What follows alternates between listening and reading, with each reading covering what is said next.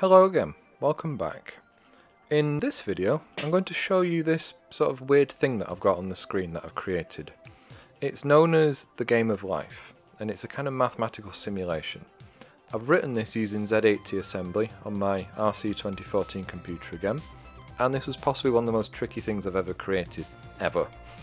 Okay, last time's Little Zombies game was pretty complicated but this was an order of magnitude more complicated. And what I want to show you in this video is what I did, kind of the things that I've written in the code, how it works, and some information about what this game of life thing is if you've never seen it before. In fact, that's probably the best place to start. Life is something created in 1970 by a British mathematician, and it's an example of something called a cellular automaton. The idea is that there's like this world that's a 2D grid, and it's got inside it cells and the cells can either be alive or dead. And there's a few rules that dictate which state a cell is in. And all we do is we set the initial conditions and then the rules take over. And from that you end up with all these like really interesting patterns and little things that seem to move about, even though there's nothing in the code that says that anything should even move. So we'll look at these rules because there's not many of them and they're fairly straightforward. They seem that not that interesting. Like, a living cell with two or three neighbours stays alive. A living cell with more or less than that dies off. And if it's a dead cell, it can come alive again if it's got two live neighbours, and only two. Other than that, the cells remain dead. Now, a neighbouring cell is simply one cell and the eight cells around it. So if you look on the little diagram on the screen, that white cell in the middle, the purple squares around it are its neighbours. That's the entire set of rules. That's all there is. That seems quite simple and kind of boring, but people have figured out that you can create almost computer code with it. It's possible to make logic circuits like AND gates and OR gates from this stuff. It's the exact same idea that in Minecraft people have created computers and all this kind of clever stuff, even though when they were creating these things, that was never designed into it. It's an example of something called emergent behaviour, which is really interesting stuff to look at. To make this simulation work, I've got to somehow simulate a grid with cells on it that can be alive or dead, and then this logic that does those rules. And that's what I've got to figure out. So I've got a fairly simple algorithm, split into three main parts. I've got to simulate the board, so finding the neighbours and applying the rules. Then I've got to print that board on the screen, which just means going through all the cells in the board and if they're alive, somehow representing them on the screen. That's those little at signs that you saw. Then I've got to do some swapping over of boards, which I'll talk to you about in a minute. Okay, so here's how this code works. I've got two things that I'm calling buffers. This one is buffer 1, this one is buffer 2. And buffer 1 is where I've set some cells to be alive. In the code, there's then two pointers that are used to keep track of which buffer we're talking to. The code is then going to read, apply some rules, write, and then swap these two things around. The reason I'm using two is because for each cycle of this code, I need to figure out the what's going on with each one of these cells. So I need to look at this cell, decide if it needs to be alive next time round. I need to do the same with this one and all the others. But if I was to look at this cell and decided it needed to be alive and just change it there, when I came to look at this cell, I'd now be looking at a mixture of the next cycle combined with the current cycle, which would just be incorrect. So what we're going to do is the following little system. We're going to read from the buffer, we're then going to apply the rules, we're then going to write out the result of those rules to the second buffer. We're then going to swap over the buffers. Now this just means taking that back and front pointer and making them point at the opposite one.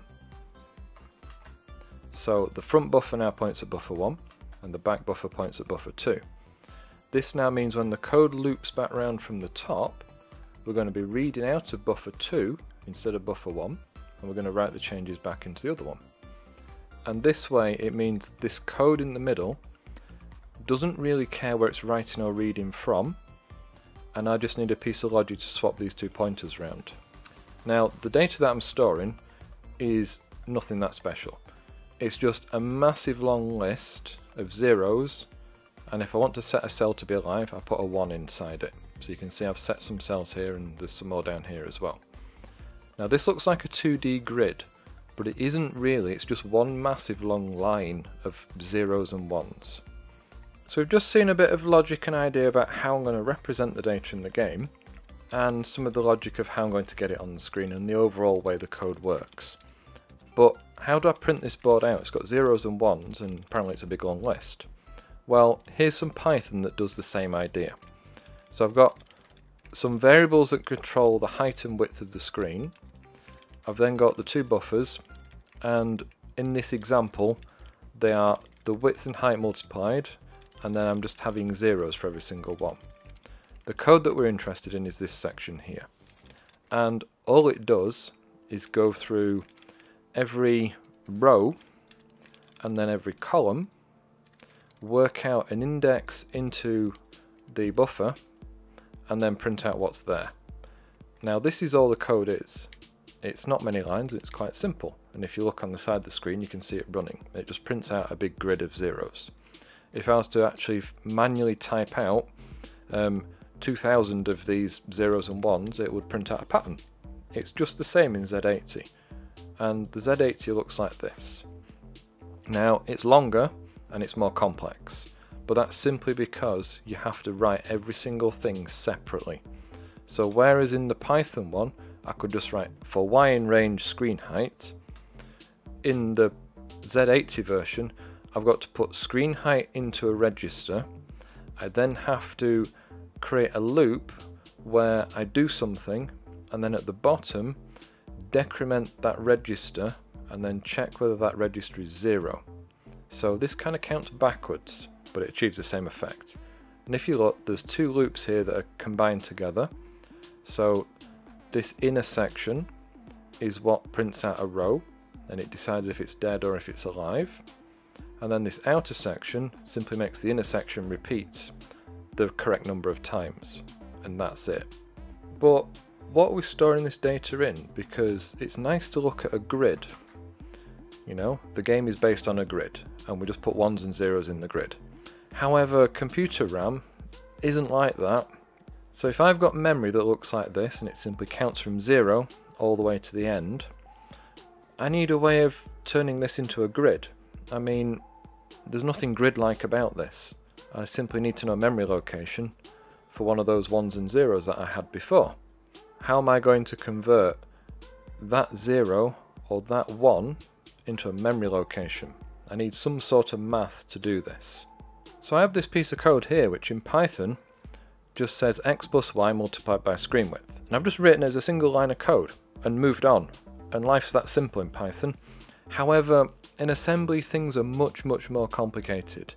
The CPU can do addition, it's quite happy with that, in fact that's the only thing it can do. So it's fine saying that I need to multiply by the width of the screen, okay? But if we look at the instructions that the CPU can actually do, it can only do addition, subtraction, and then some logic instructions, and that's it. In fact, when you look at it properly, subtraction doesn't even exist, it's just addition of negative numbers. And if you look even deeper, negative numbers aren't real. They're just a way of representing negative numbers in a way that behaves like positive numbers. It's a whole nother video I could do. It's just like how addition works in a CPU. It's based on this circuit here, called a full adder, which just adds single bits together. And it can tell you whether the answer is a 1 or a 0. But then if you chain enough of these together, you can actually add 4-bit numbers and 8-bit numbers and 16-bit numbers together. So our little Z80 can't do multiplication. So we need to write the multiplication code ourselves. And how are we going to do this? Well, we're going to go onto Google. We're going to type in Z80 multiplication. We're going to click on a link that looks interesting. And we're going to find a piece of code, just like this stuff here. Because I'm trying to write a program to do something bigger. I'm not trying to learn how to multiply numbers together. However, back in the day, before we had the internet, I would have probably spent a very long time trying to write my own mul multiplication routine. So we've got a grid and we've got some rules and we've got a strategy for drawing the grid on the screen and we know the rules for calculating what to draw on the screen but there's a bit of a problem with this and it's all to do with the grid and the fact that this was created by mathematicians who have their own view of the world. Like if they see a 2D grid it extends in all directions for infinity. So the idea of this game of life grid is that there's no edges. You just carry on forever. Computers don't like that. They need finite things because they have finite storage inside them. In my code, I'm doing the most common thing, which is that you make the top and bottom of the screen be connected, and you make the left and right be connected. It's a bit like asteroids, where you can fly off one edge of the screen and come back on the other side. To be able to do that though, we need to be able to give some sort of definition to the neighbours of the cell, so that we can talk about them and write code that makes a bit more sense. And this is what I've decided. The cell in the middle is the white one, and its neighbours are just labelled by points of the compass. That way I can think visually in my head that the north cell is just, you take one off the Y position, and the X position stays the same. It gets a bit weird at the edges though, because if I'm at the top of the grid and I want to move to the bottom, I need to not go upwards, I need to like jump to the bottom. And this bit of logic confused me for so long, and yet when you look at it, it's really quite short. Often figuring out the problem is harder than the solution itself. It's just how things are. And all this code does is it loads in the X position, it then loads in the Y position, it takes one off the Y position. If the Y position doesn't go negative, we're finished. If the Y position does go negative, it goes into this section here, where all we do is replace the Y position with the height of the screen, and then take one off because we count from zero, and then that's it, we're done. The other corners are the same. Right, so this is the code that I've written, and I'm just going to scroll through some bits of it. So you can see that at the start, I've defined the width and height of the screen and the screen size. This is the um, ASCII character for a space, this is the ASCII character for an at sign. And then this is where the code begins. So to begin with I'm just printing out the board so that you can see it. Then this is the main loop. All we do is we simulate, we print the board, we swap the screen buffers and then we jump back round again. And that's it, that's like the whole program. The printing of the board is that loop that I showed you, where we have a loop inside a loop to print out a grid. Whilst debugging, this was a really useful thing because I could make it just print out a grid of ones and zeros to check that printing was working. That way I knew that any problems were in the simulation code and when you see it in a minute, I had lots of problems with this stuff. It drove me mad. There was times when I just had to stop doing it. It was quite frustrating. Then down here, this big grid is all the ones and zeros of all the data and you can see like patterns inside it that I've set. This looks like a grid, but it isn't really. It's just how you write it in code. In fact, here, I've defined the other buffer. And I've simply just said it's a block, screen size of size, full of zeros. And that's it. That's the same as doing this, but I had to do this so I could set the ones and zeros. Now, inside the code for the board itself, I have a function that lets me get a specific cell by giving it an x and y coordinate and that calls some multiplication and all that does is works out how far into the back screen buffer I need to move and then just copies out whatever value is there.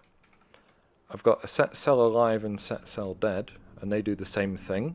It's in fact almost identical code except we're setting a cell instead of retrieving it and then this horrific mess is all the code to calculate all the neighbours and I'm sure there's a better way of doing this. This just feels too much like a kind of simple, dumb way to do it.